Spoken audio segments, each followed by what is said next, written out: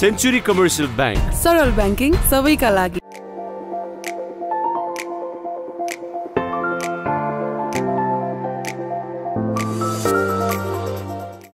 भयो छिटो गर न बरु ब्याट्री छ। उनीहरूलाई गभर्मेन्ट त्यो खुसी लागेको छ होइन निकै। टिम हाम्रो टिम एकदम यङ छ है एनर्जेटिक छ। र फिल्डमा हेर्दा पनि एकदम सबैले एफर्ट दियो।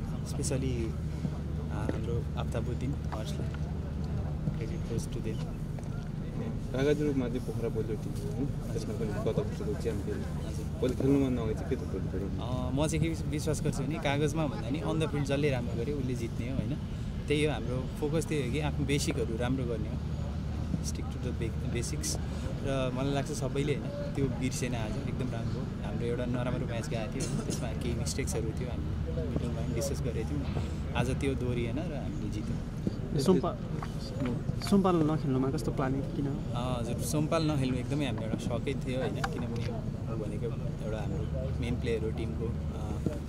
उसको हल्का ब्याक प्रब्लमले गर्दा स्टिक भएकोले गर्दा चाहिँ खेल्न सकेन आज। बाँकी गेममा चाहिँ सम्भाल के हुन्छ अँ, उसको इन्जुरी अस्तिदेखि थियो केही त्यही कारण उसले बलिङ पनि गरिरहेको थिएन म्याचहरूमा होइन। अस्तिभन्दा चाहिँ बेटर हुँदैछ। अब अनि अब हेरौँ अब क्वालिफायरसम्म चाहिँ उसले फाल्छ होला। साबिक विजेतालाई हराउँदाखेरि चाहिँ आगामी खेलमा चाहिँ अँ, निकै नै होइन सबै केटाहरू उत्साहित छ अनि सबैहरू हाम्रो टिम कस्तो छ नि यङ छ कि? जितको हङ्गर हुन्छ नि जुन केटाहरूमा छ। र सबैले भनेको थियो कि भा- न्युजहरूमा चाहिँ केटाहरूले पनि हेरेको थियो सबभन्दा बलियो टिमको लिस्ट निस्किँदा चाहिँ हाम्रो छैन हामी किन गरेर नदेखाउने भन्ने केटाहरूमा त्यो थियो र सबैले चाहिँ प्रुभ पनि गर्यो।